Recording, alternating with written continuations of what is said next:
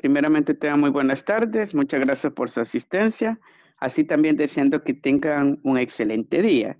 Para el desarrollo del contenido de aprendizaje que vamos a llevar a cabo en esta sesión, lo vamos a realizar con base a esta agenda de trabajo, la cual es bastante corta. Tenemos en el primer punto, presentación de la unidad 9, la Tierra y el ser humano.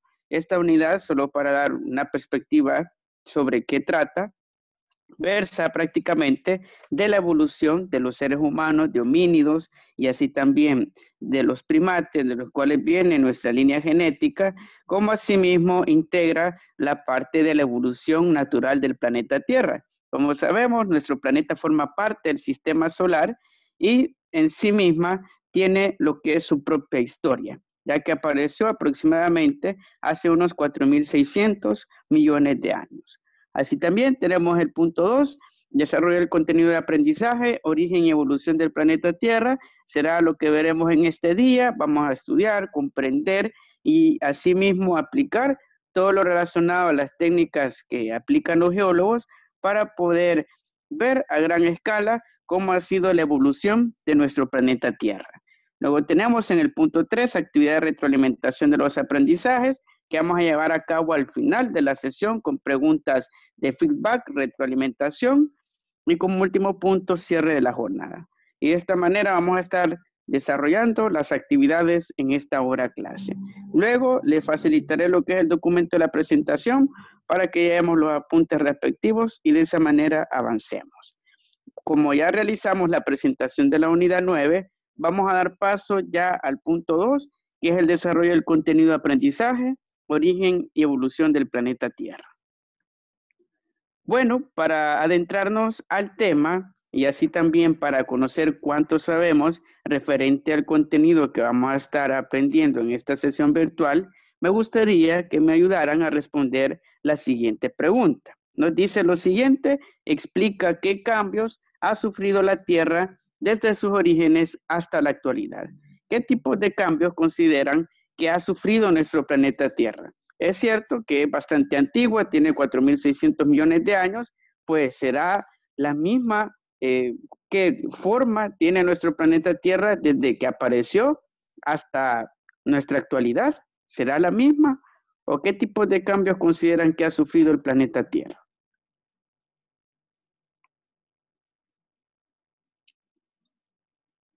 Sí, podemos participar en el chat o así también habilitando su micrófono. Si me comentan qué tipo de cambios consideran que ha sufrido nuestro planeta.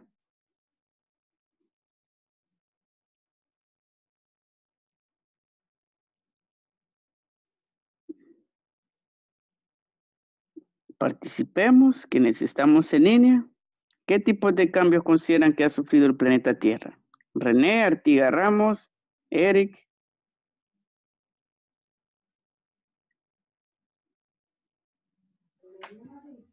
El calentamiento, profe. Muy bien, excelente. Calentamiento global. Muy bien, excelente aporte, Eric. Ese es uno de los factores que ha marcado bastante el rumbo de la Tierra, que es el calentamiento global. Bueno, también nos comparte León García en el chat, la evolución de la tecnología también sería uno de los cambios que ha sufrido ya a nivel terrestre nuestro planeta Tierra. ¿Qué más podemos abonar? René y Artiga Ramos, ¿qué cambios consideran que ha sufrido la Tierra a lo largo de millones de años que se rastrea su origen?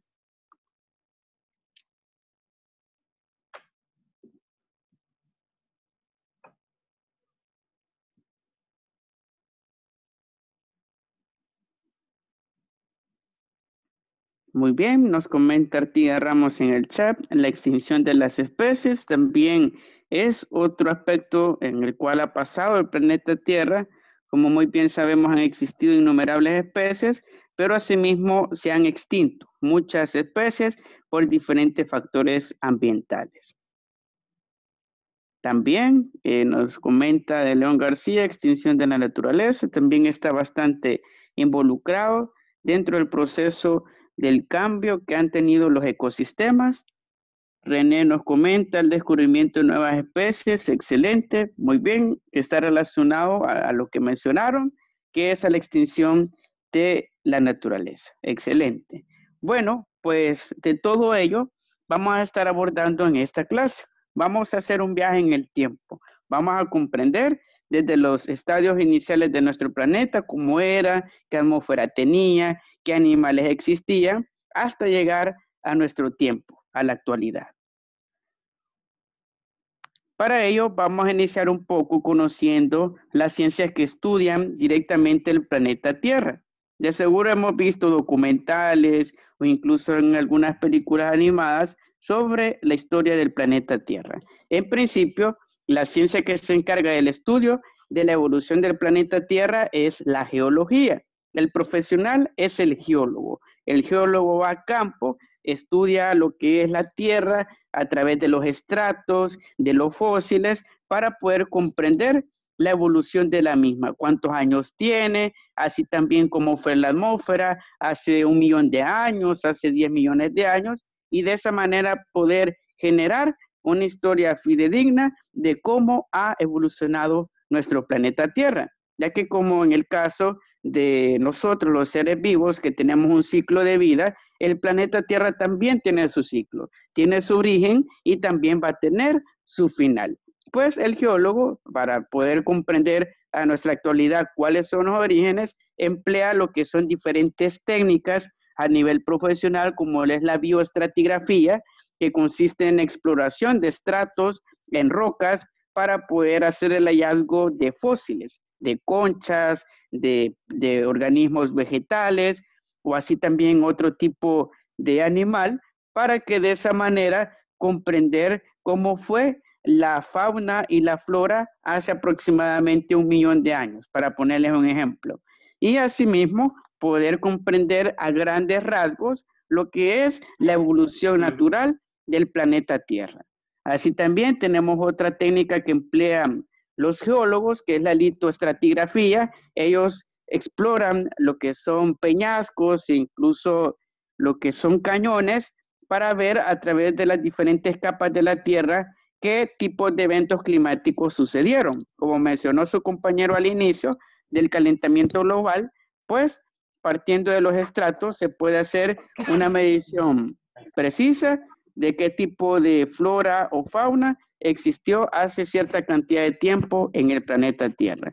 Esas son herramientas de campo que todos los biólogos utilizan para poder comprender la evolución del planeta Tierra. Para ponerlo en contexto y para aclarar un poco más estas técnicas que usan los biólogos, permítanme.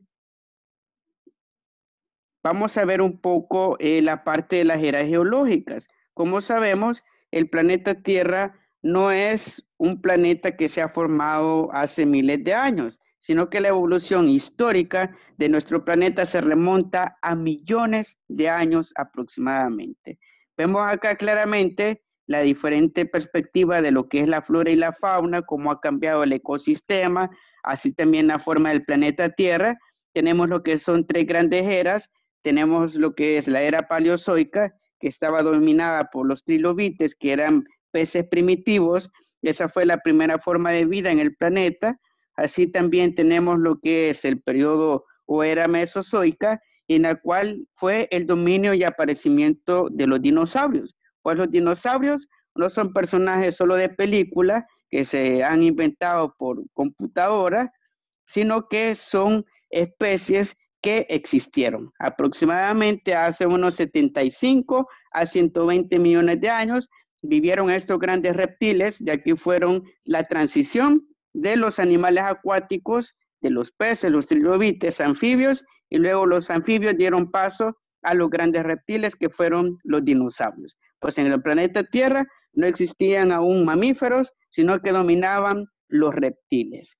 Luego tenemos en el Cenozoico y al final del Mesozoico el aparecimiento de los mamíferos. Uno de los primeros fueron los mamuts, el mamut lanudo, que fueron producto de la evolución de los dinosaurios, que eh, cabe aclarar en este tiempo del Mesozoico fue el impacto de un gran meteorito. De seguro hemos visto en alguna película o escuchado la historia de que impactó la Tierra un meteorito y extinguió lo que son los dinosaurios, pues es totalmente cierto, ya que se cuenta con diferente evidencia en la península de Yucatán, en la cual está un cráter de más eh, de un kilómetro de diámetro que eh, se han encontrado rastros que provienen directamente de meteoritos. Y esa es como la prueba eh, que certifica de que en efecto ha pasado este evento y así también los diferentes fósiles de los dinosaurios. Y ese evento generó lo que es un cambio climático, un calentamiento global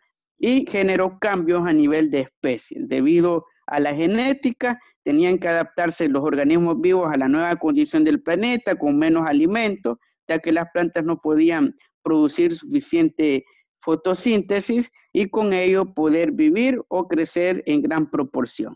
Dominaron en el último periodo, en el Cenozoico, los mamíferos y así también las aves. Y claramente vemos, antes del Paleozoico existió lo que era una etapa que se llamaba el Precámbrico. Eso fue hace más de mil millones de años. La Tierra permaneció lo que son dos mil millones de años únicamente con vida primitiva. Bacterias que eran capaces de sobrevivir en ambientes extremos, ya que la Tierra se miraba como podemos observar en esta imagen como que si era la luna, pero en su interior existía lava, erupciones volcánicas, así también lluvia ácida. No existían condiciones ideales para la vida compleja como somos nosotros hoy en día, sino que era una vida primitiva, eh, basada prácticamente en bacterias extremófilas, sino que después de que se enfrió el planeta Tierra, debido al impacto de cometas, ya que así llegó el agua acá en nuestro planeta Tierra, porque al formarse el planeta no eh, llevaba consigo lo que era agua, sino que a través de los cometas que son fuera de nuestro planeta Tierra, llegó el agua precisamente acá a la Tierra. Se enfrió el planeta Tierra, eh, se formaron los primeros océanos, lagos, algunas lagunas, hasta constituirse ya propiamente la evolución de la Tierra. Así también tenemos algunos datos interesantes, como eh, lo que es la deriva continental y la formación de la Pangea. Quizá hemos escuchado este término, que se dice que hace 200 millones de años todos los continentes formaban uno solo. Eh, el, sur de África, toda África estaba unida con Sudamérica, así también Alaska estaba unida con Norteamérica y asimismo todos los polos estaban unidos prácticamente entre los continentes y formaban lo que era el, continente euroasiático, que era la formación prácticamente de, de, lo que es todos los continentes que estaban unidos y a lo largo de millones de años por el impacto de meteoritos, así también por cambios internos en el manto superior de la Tierra, se cambió lo que es la forma de los continentes hasta lo que conocemos hoy en día y como podemos ver acá en esta imagen, vemos claramente la perspectiva actual de nuestro planeta Tierra. Pues nuestro planeta, así ha transcurrido a lo largo de su historia, tiene, como les mencionaba, 4.600 millones de años. No hablamos ni de cientos, ni de miles, sino de miles de millones de años en los cuales, a través de diferentes factores externos como internos, la vida ha cambiado, así también la forma de los continentes, también el tipo de organismos que habitaban nuestro planeta Tierra, dependiendo de los cambios. Lo que genera lo que es la evolución propiamente son los cambios geológicos dentro y a nivel de especies. También podemos añadir otros aspectos relacionados a la evolución natural del planeta Tierra, que es este periodo o esta era geológica, que es referente al Mesozoico. Esta es una de las eras más importantes para la vida, ya que en ella ocurrió la explosión del Cámbrico, en el cual se diversificaron lo que es los organismos vivos, aparecen mamíferos, aves e incluso más adelante aparecemos nosotros, los seres humanos. Vemos que el Mesozoico se divide en tres estadios, en el Triásico, el Jurásico y el Cretácico. En el Triásico únicamente vivían los trilobites, tiene dos eh, periodos, temprano y tardío, ronda los 248 a 206 millones de años en el pasado. Luego tenemos el Jurásico, que es donde aparecen los dinosaurios, dominan los dinosaurios la Tierra, viven en el transcurso de 205 hace millones de años y así también se prolonga hace 75 millones de años, en el cual ocurrió su extinción. Luego tenemos el Cretácico, que está dominado por el impacto de meteoritos en la Tierra, específicamente el que ocasionó la extinción de los dinosaurios que se llevó a cabo en el estadio tardío del Cretácico hace 88 a 65 millones de años, en el cual ocurrió ese evento, ya que como les planteaba, en el caso del impacto del meteorito que extinguió a los dinosaurios, es un hecho científico, hay muchas pruebas, como también la existencia de los grandes reptiles.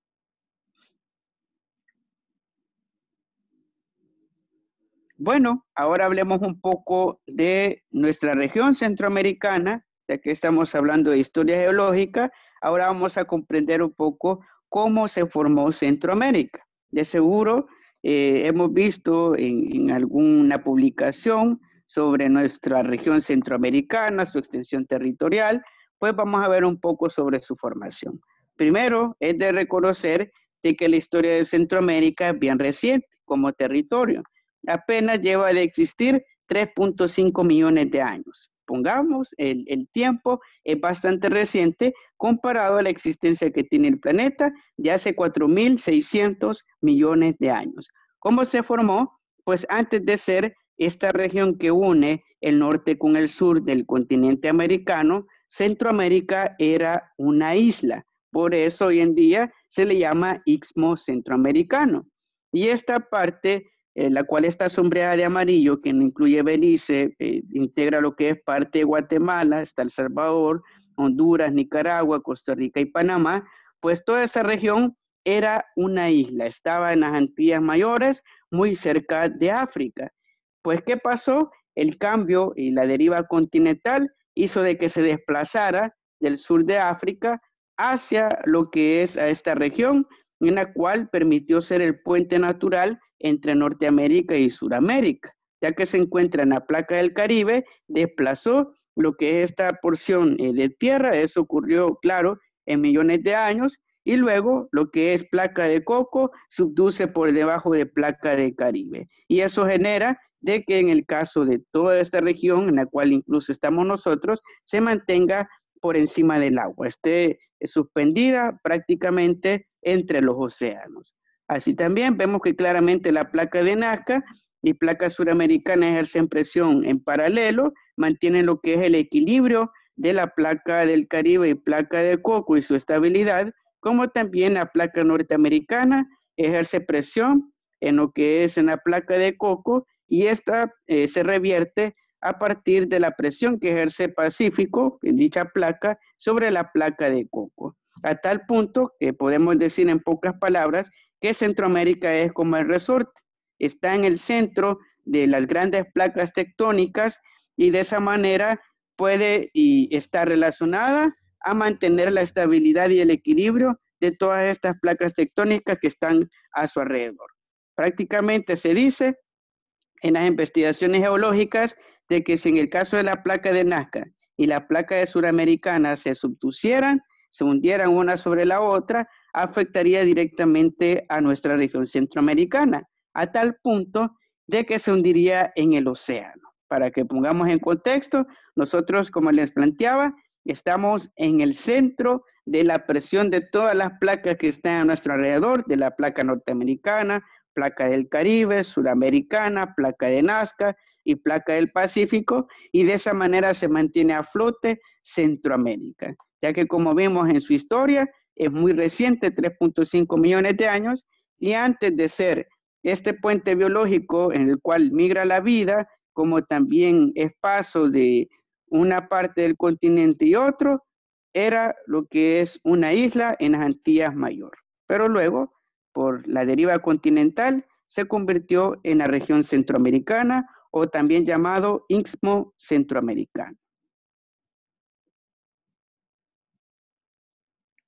Bueno, y con ello vamos a ir dando por cerrada la sesión con la parte de la retroalimentación de los aprendizajes, ya que es un tema bastante corto, pero bastante abundante en cuanto a historia de nuestro planeta Tierra.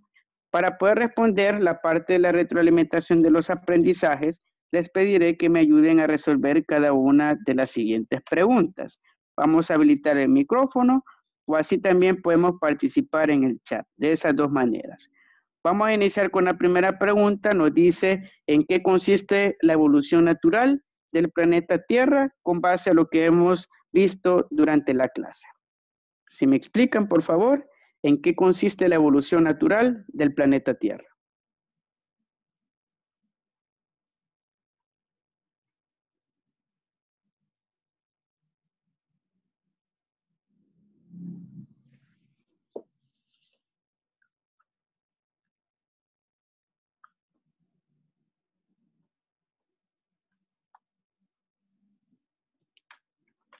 Podemos participar en el chat y así también habilitar su micrófono.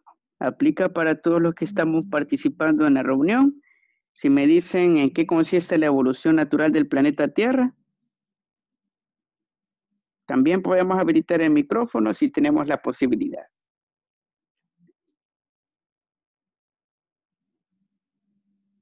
Artiga Ramos, Eric, de León García, González Villegas, Hernández Rivera, Samuel Molina, ¿qué nos puede mencionar al respecto?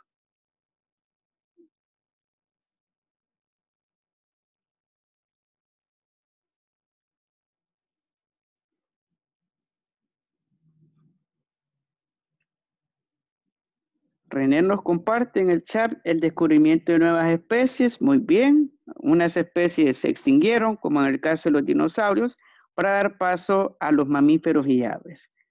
Steven Cortés nos dice en el cambio gradual de los seres vivos y asimismo el cambio en los objetos del mundo natural. Muy bien. ¿Qué otros aportes? Participemos quienes aún no hemos realizado nuestro comentario o así también aporte referente a la pregunta, podemos hacerlo en este momento. Samuel Molina, Hernández Rivera, González Villegas, de León García, Tía Ramos y Eric Rivas, que nos pueden responder al respecto en qué consiste la evolución natural del planeta Tierra.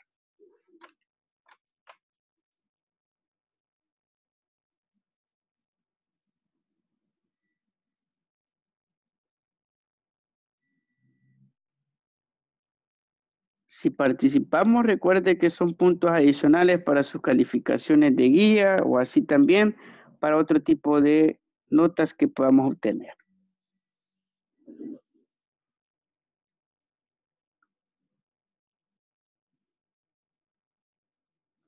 Participemos, brindemos nuestro aporte. Podemos habilitar el micrófono y también hacer mención de ello. Bueno, René nos dice cambio gradual en aspectos geográficos. Muy bien, está bastante involucrado. La Tierra ha cambiado su forma, como vimos en el aspecto geológico. En Najeras pasó de la Pangea, de estar unido lo que son todos eh, los continentes, formando un solo continente, a separarse en el transcurrir de los millones de años. Muy bien. Vamos a dar paso a la segunda pregunta.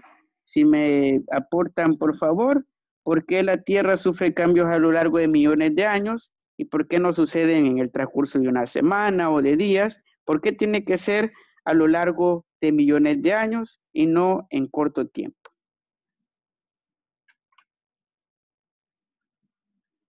Deterioro tal vez, de los recursos. Tiene mucha relación los recursos, el tiempo que pueda tardar la Tierra. Muy bien, René. ¿Qué más podemos aportar?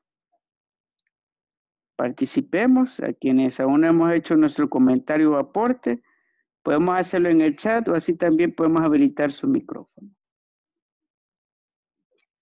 Si me explican, por favor, por qué la Tierra sufre cambios a lo largo de millones de años y no a corto plazo. Es como ver el reloj, nosotros hacemos la medida en minutos, en horas, pues la Tierra para ver los cambios lo ve en millones de años. ¿Por qué será de que tarda esa gran cantidad de tiempo y no un corto tiempo de semanas, de meses, para que ocurran todos esos grandes cambios como el movimiento de las placas tectónicas, de los continentes, entre otros factores como el calentamiento global, ¿a qué se deberá?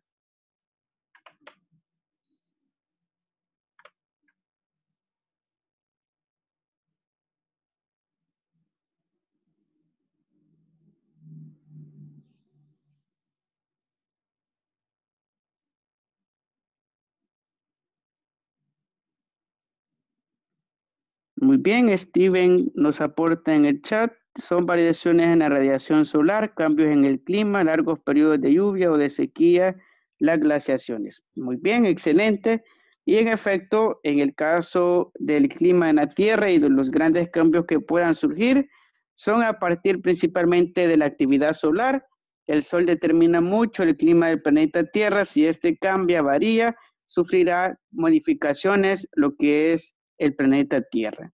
Así también podemos mencionar otros factores como lo son los meteoritos, los cuales eh, no tienen una medida exacta del tiempo. Puede que en una hora caiga uno en alguna región del planeta Tierra. Es bastante inconcluso y asimismo bastante complicado de, de localizarlos.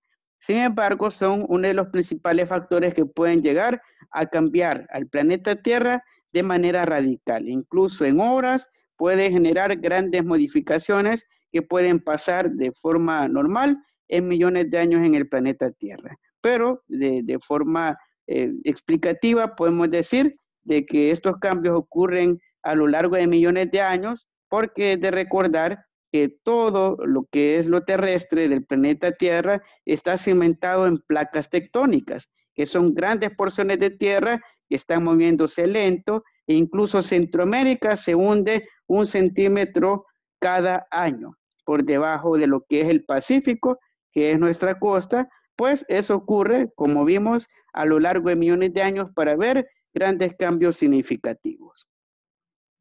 Muy bien, gracias por ese aporte, Steven. Y vamos por la última pregunta.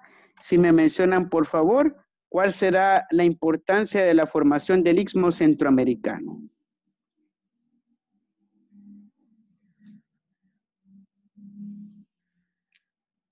¿Cuál será la importancia de la formación de Centroamérica? Así como vimos en la explicación, antes era una isla, pues ¿cuál es la importancia de su formación para el continente americano?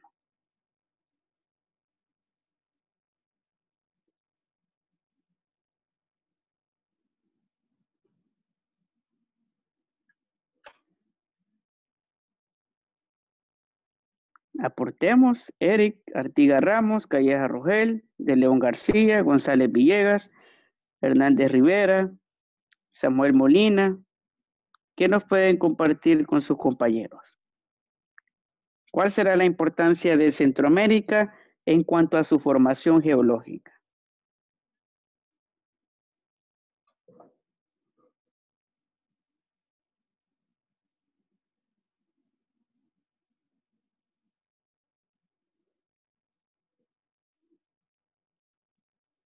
Aportemos, pueden habilitar su micrófono y brindar su comentario, que será mucho mejor. O asimismo, también lo podemos escribir en el chat.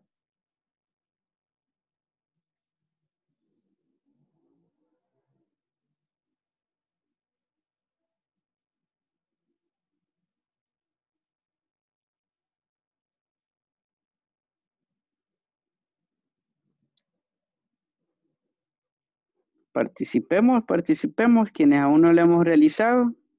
Brindemos su aporte, por favor. ¿A qué se deberá la importancia del Istmo Centroamericano? ¿Cuál será su relevancia geológica? Según lo que vimos en la clase. Vimos de que antes era una isla, esta se desplazó por la placa del Caribe y se integró al continente americano. Pues, ¿cuál será la importancia de esta región en la cual está situado nuestro país en el contexto de la vida e incluso de la geología.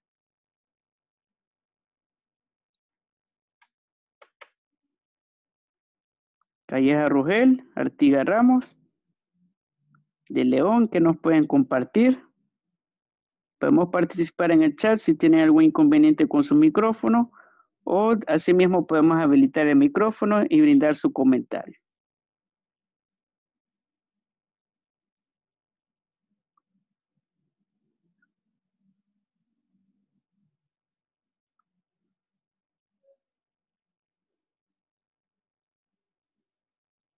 Bueno, nos comparten en el chat, vamos a revisar. Nos comparte René, ahí toma importancia lo de las placas tectónicas debido a que de cierta manera las une así como la falla de San Andrés. También, excelente. Y en efecto, así sucede en cuanto a la formación de regiones. Centroamérica fue el producto de la subducción de algunas placas y asimismo eso permitió de que se formaba como región. Luego fue desplazada por la placa del Caribe hasta poder integrarse al continente americano. Muy bien, muchas gracias René. También tenemos el aporte de Steven. Nos dice de que la formación del Istmo de Panamá también desempeña un importante papel en la biodiversidad del planeta. Excelente. Y en efecto, podemos decir de que la importancia de la formación del Istmo centroamericano es que permite ser un puente biológico, ya que hay muchas especies de animales, de aves, que migran de Norteamérica a Sudamérica y viceversa. Por ejemplo, los famosos azacuanes, que seguro hemos escuchado cuando va un grupo de aves que a veces vuelan en círculo y se dice de que van hacia el sur. Pues ese tipo de migración lo hacen a partir de nuestra región centroamericana. Van a lo largo de los países hasta llegar a Ushuaia, que es el último término de Sudamérica, que se encuentra en Argentina y luego que pasa lo que es el invierno en Norteamérica, regresan a su región natal. Y de esa forma podemos ver de que Centroamérica es un puente biológico, asimismo permite el equilibrio de las otras placas, porque como les hacía la comparativa, es como un resorte que está en el centro y que mantiene lo que es la presión estable y constante de las otras placas tectónicas. Muy bien, excelente. Y como plantea su compañero en el chat, en el caso de este puente biológico, permitió migrar lo que son especies y de esa manera generar un gran intercambio entre organismos vivos. Excelente. Bueno, con ello vamos a ir dando por cerrada la sesión. Si hay alguna duda, pregunta, podemos hacerla al privado o asimismo también comentarlo en el grupo de WhatsApp. Por favor, pedirles, si está todo claro, por favor, confirmar para que de esa manera finalicemos la sesión de este día. Me confirman, por favor, en el chat de que está todo claro y con ello vamos a cerrar la sesión respectivamente.